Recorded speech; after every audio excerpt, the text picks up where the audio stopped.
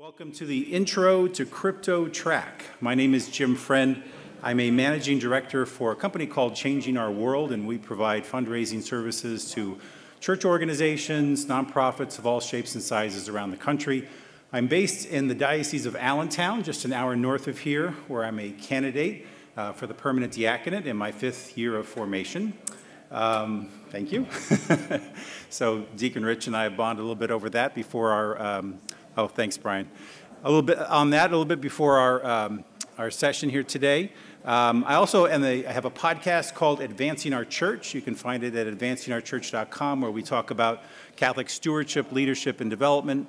And then lastly, my wife and I have a prayer ministry called Kristen's Crosses. It's on YouTube where we pray the rosary and we offer uh, reflections each day. We have 75,000 subscribers, and last month we hit 2 million views in one month. So praise God. Uh, a lot of folks are, are using that service and, uh, and praying with us each day.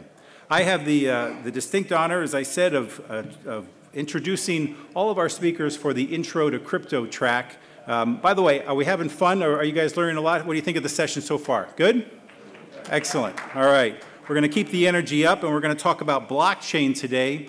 And really, over the past 40 years, there's been few technologies that have the potential to impact our world as much as the blockchain. And we have an expert on blockchain today in the person of Deacon Rich Napoli. I'm going to offer a little introduction and then we'll get started with the presentation.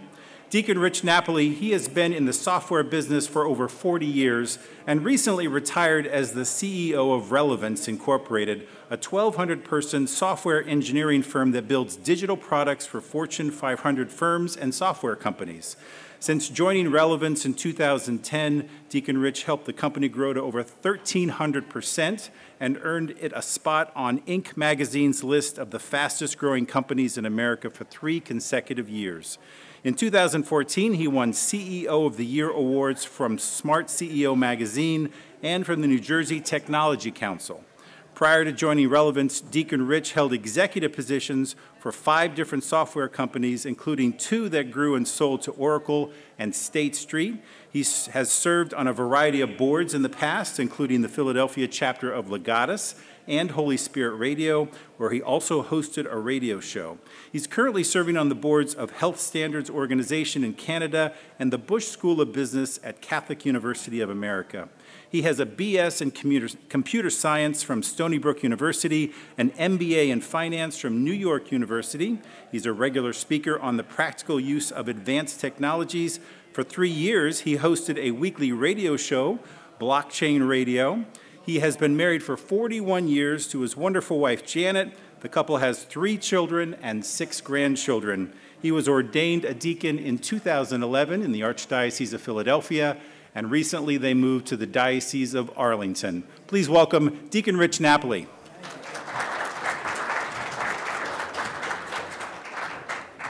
Thank you, Jim. That was way too long. I don't even remember half that stuff I did.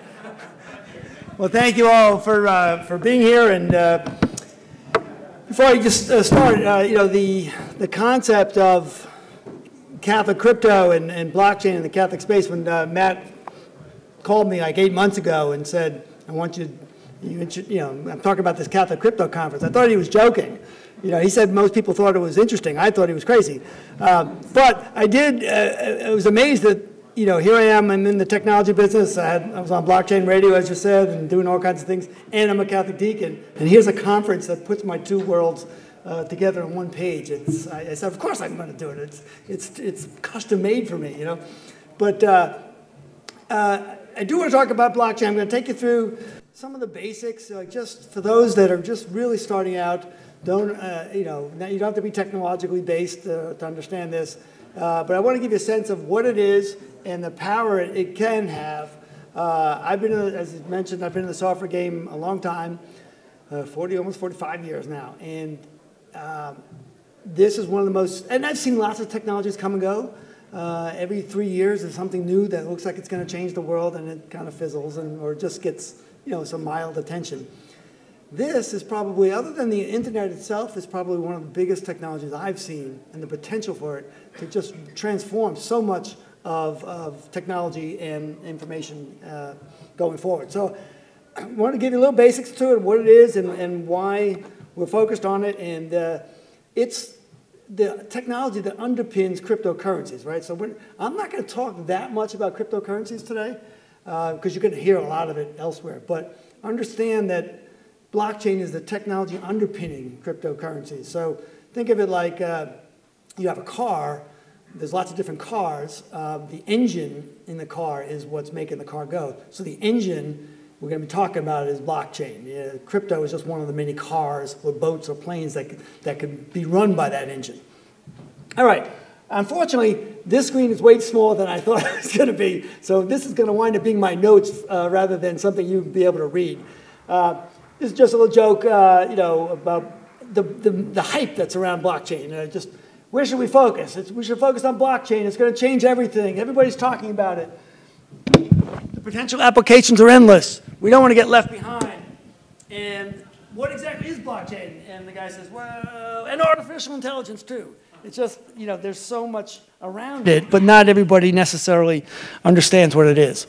Lots of hype, as I said, you are not going to be able to read this. So again, this is my notes. As big as the internet. It's going to eliminate all jobs, clerical jobs. It's going to eliminate the need for lawyers. That's, that's not so bad. Uh, uh, it's going to eliminate the need for cash. Uh, it's just for criminals. Uh, it can't be hacked. It will be hacked. All kinds of, all kinds of hype. But there's also a lot of hope around blockchain, and that's what uh, you know, Matt was asking us to approach uh, everything with hope. And there's a lot of hope here. This is a, a quote from Ginni Rometty, the former chairman of IBM. And she said, blockchain, blockchain will do for transactions what the internet did for information. So it's a, it's, it can be a fundamentally rewiring of the way we do transactions across the world. And that's part of the hope of this, is that it can really uh, create a system of digital trust between unrelated parties. Right now, if you want to do a transaction in India or in, or in uh, you know, uh, Philippines, you have to have an intermediary to, to, that you know and that the other party knows so that you can transact. This potentially could eliminate that. It'll simplify whole industries by reducing middlemen. And this is where it gets to some of the hope, too, that it will allow for greater interaction of marginalized people throughout the, the, uh, throughout the world. In terms of my views, obviously I said the Catholic and blockchain, I thought it was a joke. Uh, but I'm so glad we're here today because we need to be talking about what is this technology. Yes, as most technologies are, it's morally neutral. It's not good or bad, but it can be used for lots of different ways. How do we, as Catholics, need to understand it, and how can we identify good uses for it and to identify its potential misuse, and, uh, and put it to work for God and church? All right, I'm going to use an analogy here that I'm going to refer to throughout the talk that I think uh, people can relate to. Uh, it has nothing to do with technology, but it's something we're going to, everyone has seen, right? You've all seen a tree stump, uh, and you've all seen the rings, right, around uh, the tree stump. And if you remember back in your biology class, the tree, the rings represented one year of growth of the tree, right? So this was the very first year, and as it, as the tree aged, the, the rings kept getting extended out, right? Always added on the end at the outside of the, of the tree. And you can tell a lot when you look at this tree. Uh, you can tell how old it is. You can count the rings. You can see how old it is.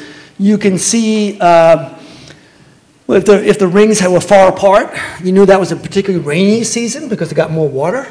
If the, if, the, if the rings are pretty close, that was a dry season. You can tell if there was a forest fire, maybe there's some charring in the, on, the, on the bark. So you can tell a lot by looking at this, at this tree stump. And I'm going to use this tree stump as an analogy for blockchain, believe it or not.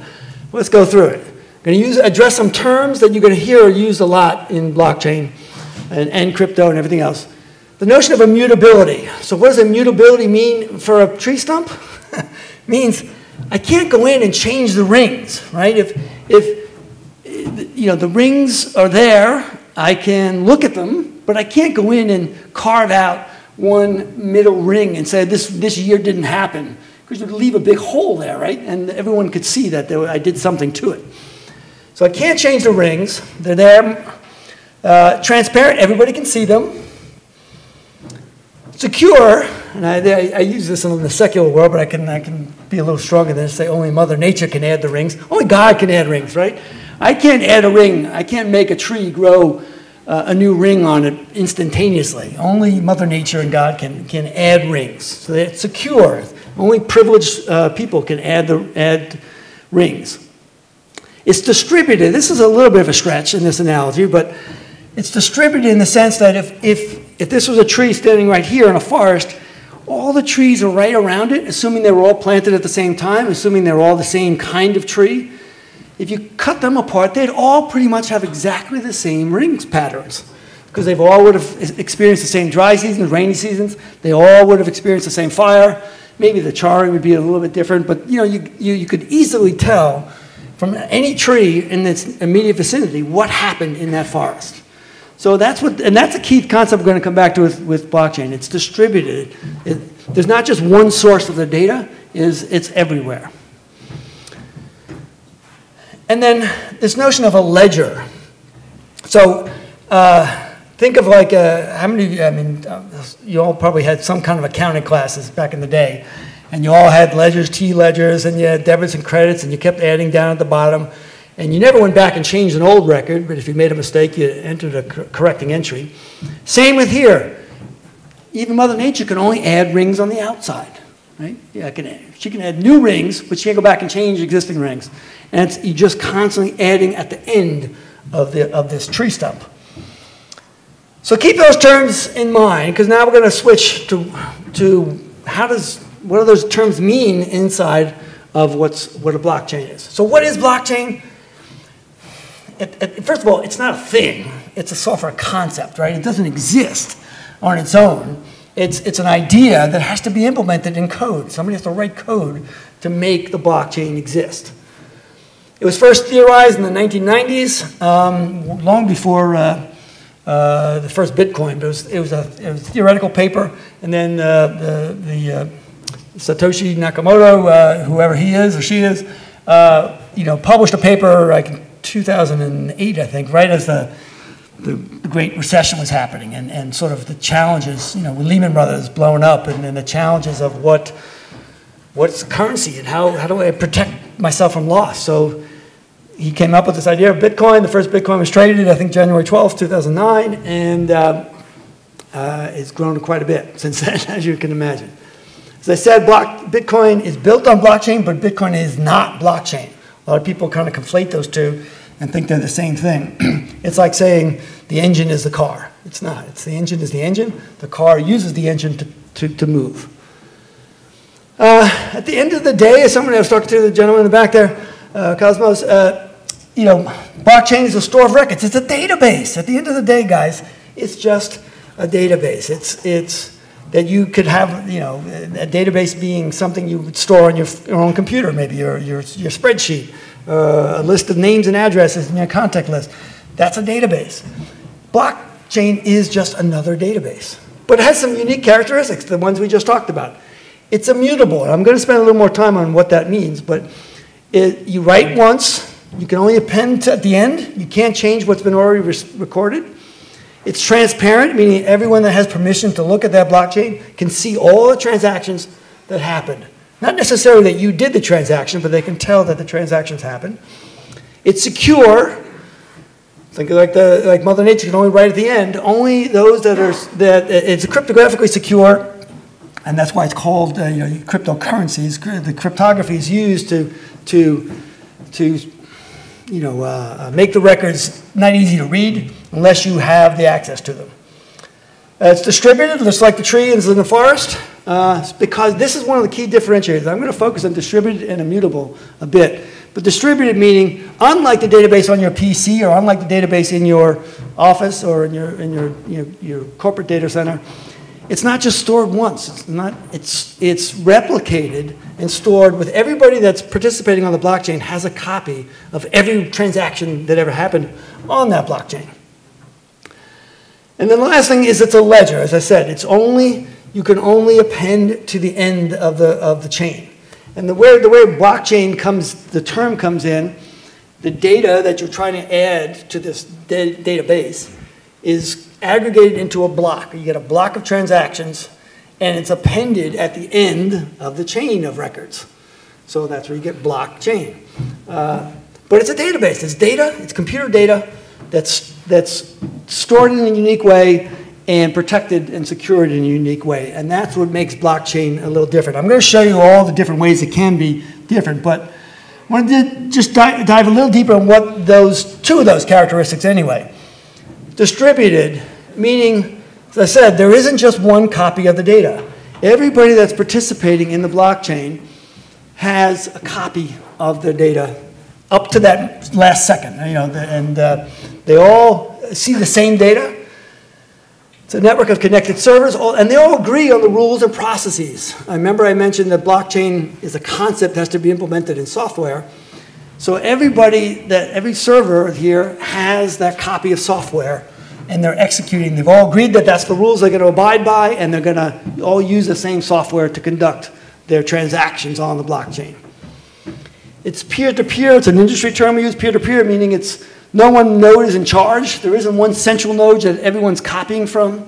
It's peer-to-peer. Kind of like uh, that's you know. Uh, I can't remember now so long ago, but some of the old peer-to-peer uh, music sharing uh, uh, tools back in the day. No one's in charge. Everybody can see each other. Everybody can replicate. They all contain the same information.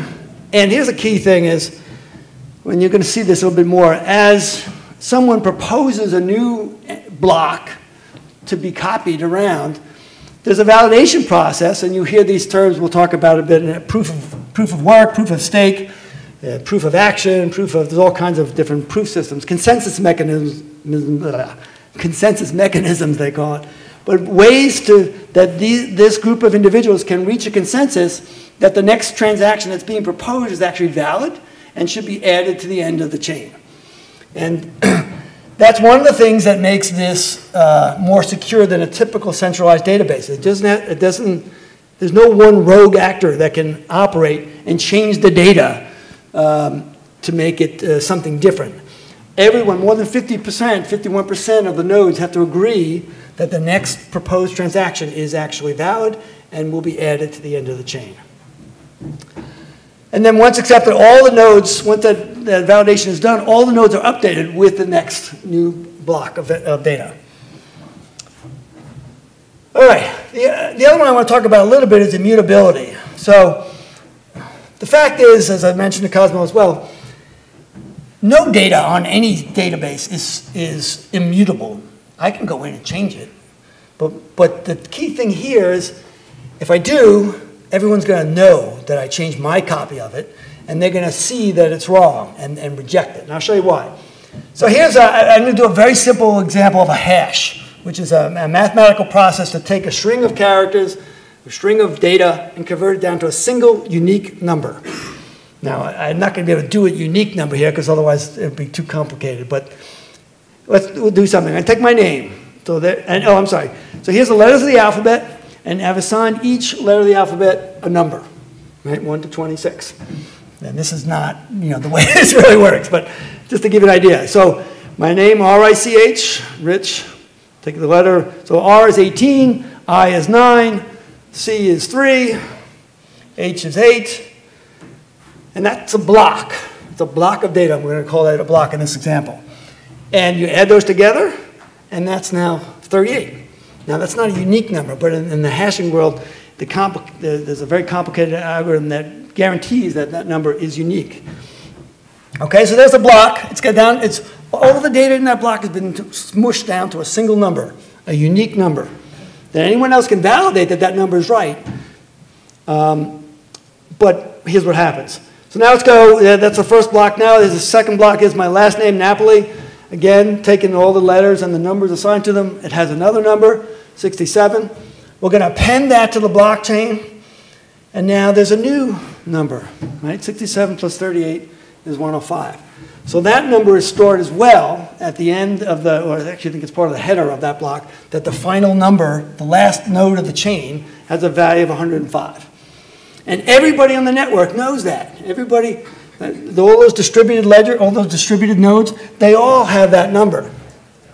So now what happens? So I said, I can change the data. I'm going to go back and change my name here from Mitch, uh, Rich to Mitch. If I do that, what happens? The number changes, right? So it was 105, now it's 120 because these are different letters and more letters. So this, this value changed. and this value changed. and imagine now if this was, you know, replicated, this was the, the, you know, the 50th node, and I changed the first node, it would ripple through all the numbers would be different down the line. So that all the other nodes that have the original version I have of 30, whatever I had there, 35, um, would see that and say, wait a minute, dude, you changed something. We're gonna, we're gonna knock you out of the box. We're not gonna accept that transaction because we don't have those numbers on our version of the database. So that's why it's, it's, it's it, they say it's immutable. I mean, technically, again, it's data on a server, data on a, on, a, on a disk. I can change data on a disk. But if I do, I'm only changing my data, and everyone else will see that I changed my data. It's kind of like what I mentioned about the tree rings. If I went and carved out the tree ring, you know, uh, and, and try to pretend that it didn't happen, everyone would say, no, I can see you changed it. And, and my tree rings don't have that cut out. Uh, therefore, we're going to, you know, you, you, did something wrong. So that's what it means to be uh, immutable. Uh, it, it's not, it's almost like a self-healing kind of a thing. Yes, I could change things, but I can't change the validation process and the consensus around the entire network. All right, so I'm going to stop there and, and just focus now. I mean, that's about as much tech as we're going to talk about in terms of what blockchain is. You'll get a better sense of what it is when I give you examples of how it's being used. Uh, and I, almost none of my examples here are cryptocurrency examples, so I apologize. But I think the value of blockchain is infinitely larger than whatever we're talking about in cryptocurrencies. Cryptocurrencies is just the, the use case that, that made it popular, but there are a thousand good use cases for blockchain, at least. All right, here's a way to make it make it make sense again, uh, especially for how many people are my vintage? Hmm, some of you, yeah. Uh, remember balancing a checkbook? Um, the idea that uh, I don't think anybody who balances a checkbook anymore. Anybody? Nobody, right? Yeah, well, you must be an accountant. but the idea was, you know, I record, I, I write checks, and I would have to record it in my checkbook to make sure I remembered that I, that I, that I wrote those checks.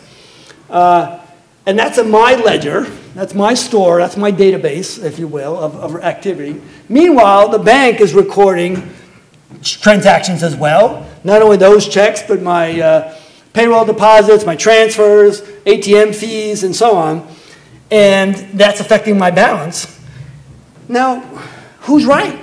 Right? Well, that's what the reconciliation process would be. You had to, because there were two versions of the truth, you had to sit down and balance your checkbook. And go back and say, yes, he's right, the bank is right on this one, or the bank is wrong on this one, and reconcile. And you have to match up to resolve discrepancies. But imagine if both of us wrote to a common ledger, where there was one version of the truth.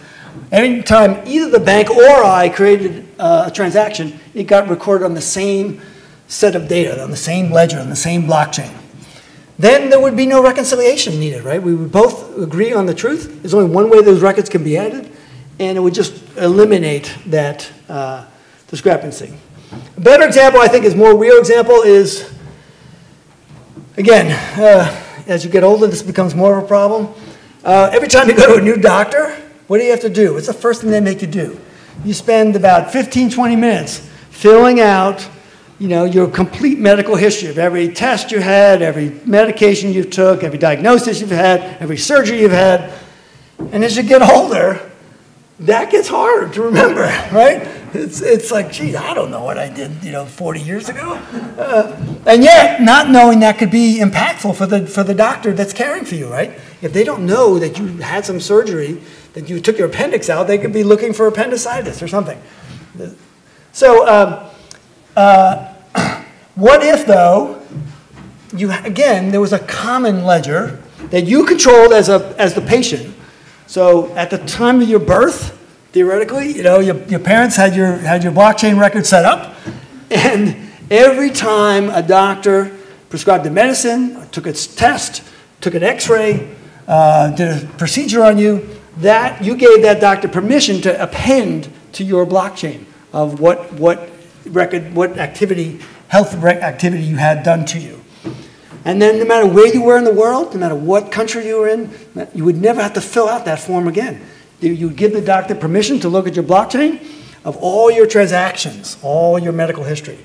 Again, one source, right? You know, how many times, I'm, I'm just dealing with this now. We just moved from Pennsylvania to, to, uh, to outside the DC area. And the DC area knows nothing of who I am, or my, usually my wife is, uh, she has cystic fibrosis. So, um, you know, she has a lot of medical history, and all that, you know, has to be airlifted kind of uh, into the new, uh, into the new hospital system. So you can see now, you're starting to see, gee, if, if you really could have an immutable, distributed database of your, of your health records that was secure, then, then that problem goes away for you. Another one in my business, uh, I used to work a lot with the Wall Street firms. I worked at State Street for a number of years. I'm going to sell 100 shares of, of IBM stock to Kevin. Kevin, right? Yeah. um, it should be just, you know, here, here's the money, here's the shares, and we're done. There's actually like eight counterparties to that transaction. There's me, there's me and Kevin, there's our brokers, there's our, the, the custodians, uh, which are the people that, that, that, that like State Street and Bank of New York that actually hold your stocks and bonds and your cash. There's clearinghouses, there's market makers. All of them have the same, hopefully the same record of, the, of activity that, that, that Kevin and I did.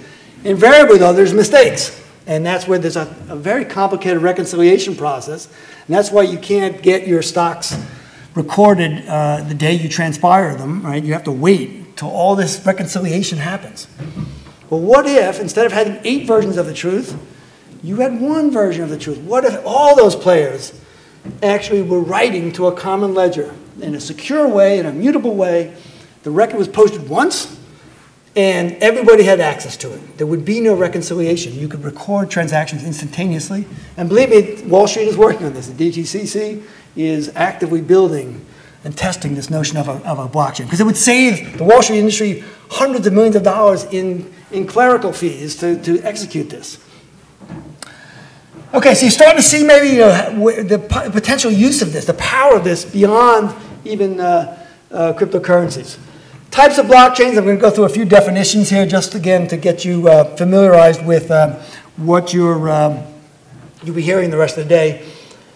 So when you talk about uh, uh, uh, Bitcoin and some of the Ethereum currencies and so on, those are on a public blockchain, which means that anybody can participate, anybody can read, anybody can write if they have enough sort of uh, skin in the game. And there's different ways they can do that, but you know that's the proof of work, proof of stake stuff I'll come back to. Most of the real use cases that exist today of blockchain outside of the cryptocurrencies are private blockchains. Uh, uh, I forget which speaker was, mentioned uh, Walmart. Uh, Walmart built a private blockchain for all its vendors and all its farmers and shippers and store clerks and so on that uh, uh, you have to be invited to join and then you can participate in ad transactions along the way. And then there's a, sort of a hybrid between those two, a consortium of public and private where it's controlled who gets in and they give you what, you, what privileges you have, but then you're free to read and write as you see fit. All right, this is the toughest slide, uh, and uh, uh, it's just a bunch of definitions that you can't read from there, so I'll, I will read them off. So this notion of a consensus mechanism, proof of work, proof of stake, you hear these terms used a lot, and as I said, there's about 10 different consensus mechanisms that are used on different blockchains. There's no one blockchain, there's millions of blockchains, or thousands of blockchains maybe. But the proof uh, is a way, is a method to prove, prove that the participant on the network is, can be trusted, especially in a public blockchain. So uh, in the Bitcoin world, proof of work says, uh, to show me that you have skin in the game, I'm going to make you do an incredibly complex mathematical calculation that takes super large computers like 10 minutes to calculate. To show me that you're serious enough, that you've invested enough cash to actually build this big database, uh, this big uh, server that can process that calculation. It's typically something involving prime numbers and uh, you know, calculating prime numbers, things like that. Uh, but anyway, and then proof of stake is the other one. The proof of stake is uh, showing me that you have enough uh, uh, currency, if you will, or stake in the game that you're not likely to want to sabotage things because you lose more than anyone else does. So proof of stake says, yeah, I've already got a gazillion bitcoins. I'm not going to go trash the entire Bitcoin network because I lose more than anybody. So Proof of stake is a way of showing me that you have skin in the game. Smart, I'm going to come back to this a bit, so I, won't talk too much about it, but a smart contract is uh, it's a digital contract stored on the blockchain that can be referenced by both parties. cryptocurrency is a whole conference to explain this to you, but essentially any digital currency created and stored on the blockchain. Uh, you heard of Bitcoin, Dogecoin, uh, you know, Ether, uh, uh all kinds of uh, cryptocurrencies. DeFi, decentralized finance, is taking the concept of, of, of uh, blockchain and applying it to the financial world, saying, why do we need banks? Not that we would ever get that far, but the notion is that if I want to, if I uh, have money that I want to get uh, invested or I want to lend to someone, I give it to the bank, and they, they give me, you know, three or four percent interest, and they turn around and lend the money out to Kevin at nine percent interest, and they take the, they take the, they take the, the float there between the two. What if I could lend money directly to Kevin in a secure way that uh, was immutable and trusted, and everyone could see the transactions were all out there? Um, so that's what decentralized uh, uh, finance is about. There's lots of different Bitcoin platform, uh, blockchain platforms. Uh, Ethereum is one. Bitcoin is obviously its own uh, uh, platform. Hyperledger is an open source platform used widely by IBM. And most of my, you know, my, my company Relevantz, you know, we build a lot of blockchain systems for our customers. Most times they use Hyperledger because that is sort of an industrial strength version of blockchain. It's something IBM took, and they took an open source and they just kind of put all the things around it that I, as a data center, you know, IT guy, I want to see. I want to see scalability. I want to see reliability. I want to see fault tolerance. All the things I want to see in a mainframe, not mainframe, but a main, you know, uh, major league kind of the blockchain, they put into Hyperledger. NFTs, you're going to hear a lot. I'm going to talk about that more in a second. But it's, uh, so NFT, uh, explain the difference between fungible and non-fungible. If I owe Kevin $3 and I pull out $3 bills from my pocket, he doesn't really care which dollar bill I give him, right? They're, they're fungible. One dollar bill is as good as the other. Non-fungible is, is the opposite of that. It means where um, it's a unique uh, instrument, unique uh, token that represents something unique in either the digital world or in the real world. Like, in the most extreme case, I could have a, an NFT for my house that says I own this house, and here's my token that proves I own the house. That's an extreme example. Most of it's used, and you'll see in a minute, uh, in other ways. I'm going to dive a little bit deeper on two of those topics. Just again, we could spend days talking about all this stuff, and I probably am spending too much time already. Uh, but uh, smart contracts and non-fungible tokens. So I'm going to give you another analogy for thinking about a smart contract. So um, first of all, what is it? it it's a it's a smart contract is a digital contract stored on the blockchain that defines the terms and conditions that Kevin and I agreed on for, for providing services and goods to each other. The simple way to think about it is think about a vending machine. All right? Do you, when you go up to a vending machine, do you sign a contract that says, when I put in money, I, I'm expecting to get a product out? No, we all know that the contract is sort of embedded inside the machine. It says, I put money in, I make a selection, it gives me what I selected and gives me any change back, right? That's an implicit contract that's embedded in hardware and software inside the vending machine. Now take that and blow that up to something bigger. Imagine with a full contract, maybe I, I make, uh, in my example here, I make refrigerators and I'm selling them to Kevin. Um, and I have 100 refrigerators, I put them on the truck, I scan them in to say that they're now in shipment. Kevin gets it, he opens the truck, he scans to make sure they're the right things, that, and then make sure there's a hundred of them. And as soon as he clicks on the last one that says he's received it, then because the contract is stored on the blockchain, it says, here's the price we agreed on, here's the terms, it's, it's this model for this price, and once he does, instantly money is changed. The contract executes the transaction to move the funds from, from, uh, from his account to my account. Now, you know, obviously, uh, all the records are kept. We can always go back and look at the records. And sometimes there could be mistakes. And just like in a regular ledger, you append to the end of the ledger, you make a correcting entry. Oh, there's only 98, not 100. Okay. We, and we put an appending uh, adjustment to that. But the contract is, is sort of permanent until you append the contract. But the contract is an agreed to digital version of, of, of what's in there. Some of you know what this is, some of you don't. Uh, but NFTs, again, this notion of a non-fungible token, uh, they're proof of ownership of some kind of asset, either a digital asset, in this case, this is the Bored uh, Ape Yacht Club, uh, which is a whole series of digital art Uh, this particular one sold, I think, for three or four million dollars. I don't get it. Uh, I don't claim to get it, but you know, and because I, I didn't have to pay the guy to put it up here, I can copy it, I can show it, but only one person owns it.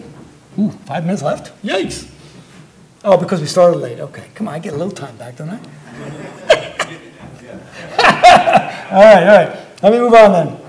Uh, but it's a way to, to, uh, to store, uh, to record transactions, not only of digital art, you know, photo, music, tickets. Ticketmaster just crashed because of Taylor Swift, right? Um, uh, you could store all that on the blockchain as well uh, and record transactions. All right, use cases real quickly. Uh, you've seen some of them. Real estate, chain of custody is the main thing they talk about is how do I prove the provenance, as someone was mentioning before, provenance of an item, that something that I, uh, that I bought was actually made by the person I thought it was. Uh, so you can track uh, real estate transactions, that's the classic one, uh, of making sure that uh, when you go to buy a new house, there's title insurance guys that go and check to see who owned the house before, make sure there's no liens. You could put all that on the blockchain.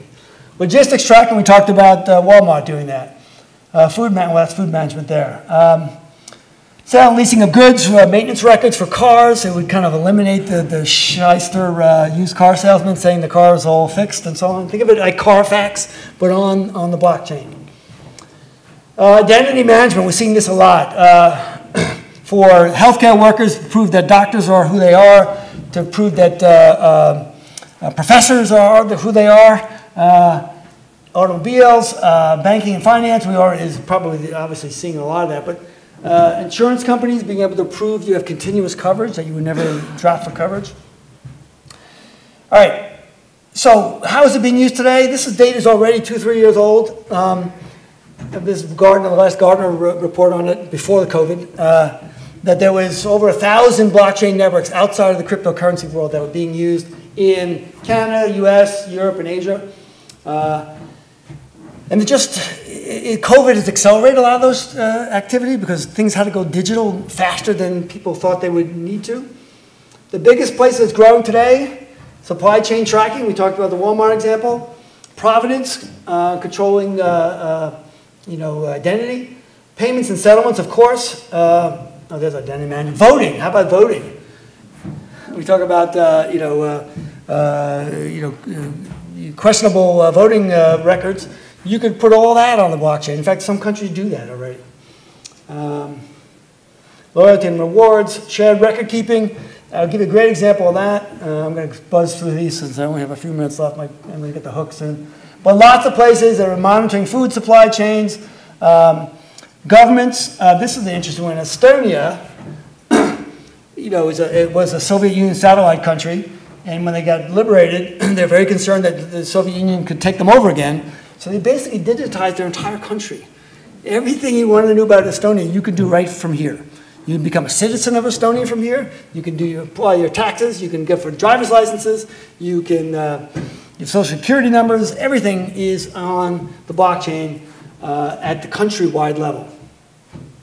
Finance, uh, I'll put an example here. My friend is the president of Northern Trust. Uh, built, and he's a big tech guy and he's determined to build a blockchain use case. And he built one for private equity management, for capital calls, investments, divestments, and distribution of private equity funds.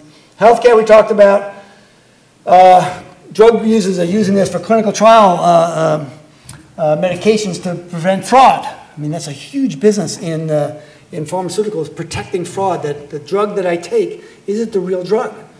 Again, blockchain, you could store that all the way from the time it left the factory to the time you take it in your mouth.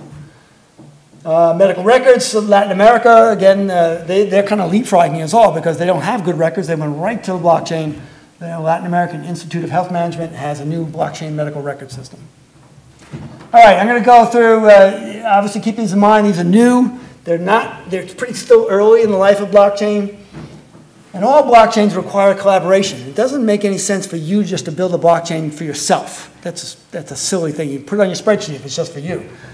But when you need to collaborate and you have a bunch of business partners that are sharing data, they each have currently have their own version of that data. There's multiple people updating the data at once. And you don't necessarily trust each other. You know, the, the, the food store doesn't necessarily trust the farmer, he hasn't even met the farmer, and yet this helps me make sure that I can record uh, transactions in a trusted way. And common rules. All right, so last thing I want to talk about is uh, back to the uh, Catholic world. How do we use blockchain in the Catholic world? Well, that's what we're all here to talk about. I'm going to give you my, I spent like two minutes thinking about this. But how about sacramental records? How about you went to go get married and you had to get your baptism certificate and your confirmation certificate? You know, and you find out, it, as, you, as you know probably, all those records are stored wherever you were baptized. So, Mom, where was I baptized? you know, and, and you got to go find the, the parish and you got to go contact them and they got to ship you the records. Put all that on the blockchain. And also, if they have a fire, the whole thing is wiped out, and which has happened sometimes. Put it on the blockchain, control it, so that everyone, every parish in the world could see your records when you were baptized, married, confirmed, uh, ordained, whatever. How about a Vatican currency? Uh, the Vatican often want to give and donate money to poor countries, but they know that if they go through the chain of command in those countries, the money will never get to the people in need. Create a currency that backed by the Vatican government, and, and you can, in, again, you can do transactions directly with them. How about priestly records? Uh, not only for you know, seminary courses, assignments, and certificates, how about for issues? We have the whole scandal, right? You know, and, and how many times do we hear that a priest was, was accused in one parish and got moved somewhere else and nobody knew about it? Put it on the blockchain, and then, and then everyone could see that. And this is, a, this is somewhat humorous, but uh, uh, relics, uh, you know, you can't buy and sell them, but how do you know they're real? Uh, how do you know it's a real, authentic relic of a saint? Or the true cross. It must be what they said if you ever assembled all the pieces of the true cross, it'd be like 10 crosses together. But, you know, you could use that, again, to prove the provenance. Because now a relic comes with a piece of paper that says it's from this saint, but you could put that on there. Anyway, that's just a few ideas. I'm going to wrap up here and just say, now you know a little bit more, and I'm going to take questions in a second, but uh, blockchain is a distributed ledger. You hear that a lot, DLT, distributed ledger technology. It's a ledger that's distributed, stored on multiple computers. It's very secure, can store data, contracts, tokens, currencies, and can be used for many good purposes and a few bad ones. But that's what we're here for. It's up for us to determine how do we put this to work and to increase God's kingdom. I started with two or three ideas. There's a million ways we could potentially use this. Let's start that conversation about what it could look like. And that's it. Thank you very much. And I'll take some questions.